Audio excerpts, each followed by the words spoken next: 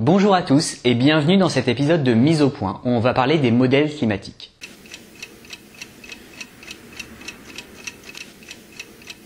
Comme vous le savez très bien, le système climatique est un ensemble de phénomènes physiques complexes et interconnectés. Pour pouvoir en prédire l'évolution future avec un minimum de vraisemblance, on doit faire appel à des modèles climatiques. Mais je dois d'abord clarifier un point. Pourquoi peut-on prévoir le climat dans plusieurs années alors qu'on ne peut même pas prévoir la météo dans plus de quelques jours? La météo et le climat sont deux choses différentes. La météorologie est la science des nuages, de la pluie et du vent. Elle étudie la variation locale et rapide de la température, de la pression, des précipitations, etc. Le climat est la moyenne dans le temps de ces différents paramètres sur une période de plusieurs années, voire plusieurs dizaines d'années. C'est aussi une moyenne sur une zone plus étendue. On sait tous ce qu'être dans une zone de climat tropical implique. Ça nous permet de nous faire une idée des conditions météorologiques moyennes à cet endroit mais pas du tout de prédire la météo. Le climat est la moyenne des événements météorologiques. Donc connaître la météo d'un endroit précis pendant longtemps permet de comprendre le climat. Mais l'inverse n'est pas du tout vrai. L'air est léger, peu visqueux et compressible. Il n'est jamais en équilibre. C'est pourquoi il est impossible de prédire la météo au temps long. Si on essayait, de petites erreurs dans les paramètres initiaux ou de légères imprécisions donneraient des résultats finaux complètement différents. C'est pourquoi il est impensable de prédire la météo dans plusieurs mois ou plusieurs années. Mais le climat est principalement expliqué par l'équilibre entre l'énergie entrant et sortant du système. Certains paramètres sont imprévisibles, comme la météo ou les volcans, mais leurs effets au temps long sont faibles. La différence entre météo et climat peut se résumer à ceci. On ne sait pas s'il y aura de la pluie ou pas dans trois semaines, mais on sait très bien que la température moyenne en hiver sera plus faible que la température moyenne en été. Quand on regarde une courbe de température comme celle-ci, la température relevée tous les mois varie vite et il est très dur de la prédire. Par contre, la moyenne glissée sur 11 ans est plus stable et dépend de paramètres plus faciles à modéliser. On fait des modèles climatiques parce qu'il est possible de prédire le climat au temps long en prenant en compte les principaux mécanismes physiques qui le fixent. Mais comment ces modèles fonctionnent-ils? Un modèle climatique est un programme informatique complexe qui représente aussi fidèlement que possible le comportement réel de notre climat. Pour y arriver, les experts des différents domaines scientifiques définissent les paramètres et les équations qui représentent les lois physiques régissant le climat. Ces équations proviennent principalement des lois physiques fondamentales, comme la conservation de l'énergie ou les équations de la mécanique des fluides. D'autres paramètres ou relations sont issus des observations faites sur le terrain ces dernières dizaines d'années. Ces lois sont ensuite traduites en lignes de code, et c'est là qu'arrive la difficulté du modèle. Pour que l'ordinateur puisse faire ses calculs, on doit découper ce système complexe en un nombre fini de points. Pour cela, on utilise un maillage. On coupe la surface étudiée en plein de petits carrés. Les premiers modèles climatiques globaux utilisaient une maille d'environ 500 km. La France ne comptait que pour 4 carrés. Maintenant, les modèles les plus performants utilisent une maille de 87 km. Comme les modèles climatiques comprennent l'océan et l'atmosphère, ils ne se contentent pas d'une grille au niveau du sol, mais ont également plusieurs couches dans l'atmosphère et dans les océans. La grille et les différentes couches définissent plein de petits cubes dans lesquels les paramètres seront évalués par le programme. Avec les résolutions actuelles, il y a plusieurs millions de petits cubes. Regarder l'évolution dans le temps des modèles climatiques demande des milliers de milliards de calculs, et on comprend vite que c'est une des sciences les plus gourmandes en puissance de calcul. Mais qui crée ces modèles climatiques? Les modèles climatiques ne sont pas l'œuvre du GIEC, qui ne fait qu'un travail de synthèse. Il y a actuellement une vingtaine de laboratoires qui travaillent au développement de leurs propres modèles. Il y a donc au moins autant de modèles différents. La France participe à cet effort global et dispose du sien, développé par l'Institut Pierre-Simon Laplace. Ces recherches impliquent directement plusieurs centaines de scientifiques, et ils sont construits sur les connaissances acquises sur le climat dans tous les domaines. Les modèles intègrent donc le travail de plusieurs milliers de chercheurs. Les premiers modèles datent des années 60 et ils ont beaucoup évolué en plus de 50 ans. Mais que prennent-ils vraiment en compte? Les phénomènes physiques pris en compte ont beaucoup évolué au fil du temps. Les premiers modèles ne prenaient en compte que l'atmosphère et encore succinctement. Dès les années 80, les nuages, la surface du sol et la glace ont été inclus dans les modèles. Puis l'océan a été modélisé, mais comme une seule couche. À l'époque du second rapport du GIEC, en 1995, les modèles incluaient en plus les sulfates, l'activité volcanique et les couches supérieures des océans. Au moment du troisième rapport du GIEC, en 2001, la circulation océanique profonde, les aérosols, les rivières et le cycle du carbone étaient pris en compte.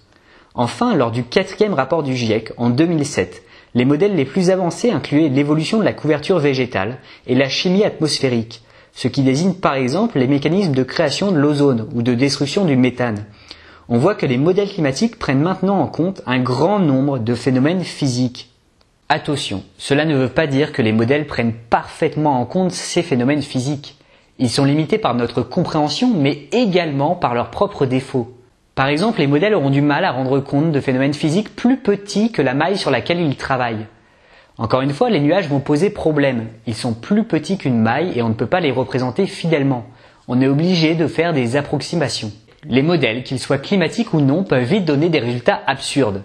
Avant de leur accorder notre confiance, on est obligé de vérifier la cohérence des résultats.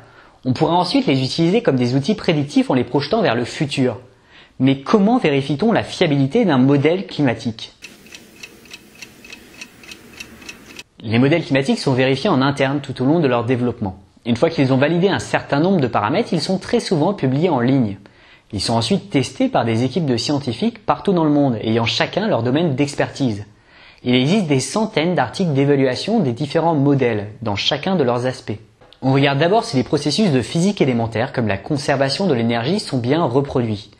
On regarde ensuite si les modèles climatiques arrivent à reproduire les observations réelles. Est-ce que le profil de température dans l'atmosphère qu'il nous fournit est le même que celui qu'observent les satellites? Est-ce qu'il voit que le réchauffement est plus fort au niveau des pôles que sur le reste de la planète comme on le voit dans la réalité? Ensuite, ces modèles sont projetés vers le passé pour voir si les températures qu'ils prédisent sont bien celles qu'on a observées les 150 dernières années. On peut même voir s'ils arrivent à modéliser le climat d'une période glaciaire en entrant les paramètres correspondants. L'immense avantage des modèles, c'est qu'on peut étudier plusieurs scénarios et faire des tests. Chose impossible dans la réalité parce qu'on ne dispose que d'une seule planète. Par exemple, sur ce graphique, on voit en noir les températures mesurées. Et on peut voir l'ensemble des modèles climatiques de la dernière génération avec toutes leurs composantes en rouge et en excluant l'influence humaine en bleu. On voit que les différents modèles comportent d'importants écarts. Ils ont été assemblés par différentes équipes scientifiques qui n'ont pas fait exactement les mêmes choix. Les nuages et leur évolution, ou encore les échanges d'énergie avec l'océan profond, font partie des phénomènes qui représentent le plus de différences entre les modèles. Mais on voit tout de même que malgré leur écart, le constat est sans appel.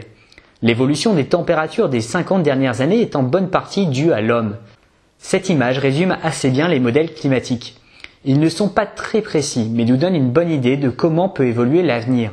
Ils ne suffisent pas à savoir la température exacte d'une année et encore moins d'un mois mais leur précision est déjà suffisante pour comprendre, dans les grandes lignes, l'impact de nos activités et en tirer les conséquences. C'est la grande utilité des modèles climatiques. Ils permettent de se faire une petite idée de ce à quoi ressemblera l'avenir en fonction de la façon dont nos sociétés se comportent. On peut faire différentes hypothèses sur les émissions futures de gaz à effet de serre et voir comment cela joue sur les températures à venir. Différents scénarios sont testés dans les modèles.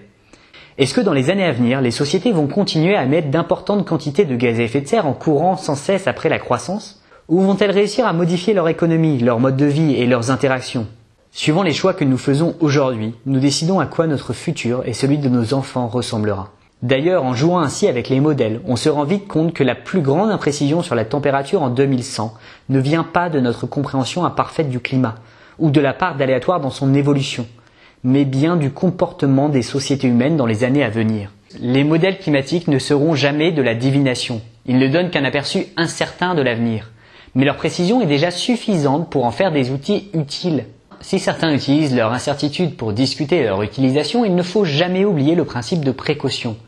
Il vaut mieux agir en se trompant que ne rien faire contre des conséquences désastreuses que le monde scientifique présente comme très probables.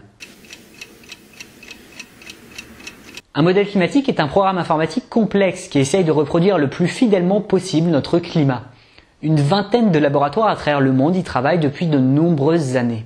Les modèles climatiques, contrairement à ce qu'on peut souvent entendre, prennent en compte de nombreux phénomènes physiques, parmi lesquels, par exemple, le soleil, la vapeur d'eau, les nuages, les vents, la circulation océanique ou encore les précipitations. Les modèles climatiques contiennent des approximations et ne représenteront jamais exactement la réalité.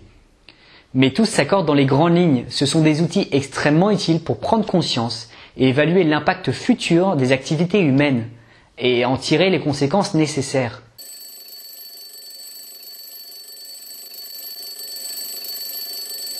Merci à tous d'avoir regardé cette vidéo et j'espère qu'elle vous a appris des choses. Si elle vous a plu, n'hésitez pas à la partager. Cette vidéo clôt ma petite série sur l'existence et l'origine d'un changement climatique. Mais on n'en a pas fini. Je dois maintenant vous parler des conséquences de ce changement climatique. Je vais considérer qu'il est une réalité et que l'origine humaine est avérée. C'était le réveilleur et à bientôt sur le net.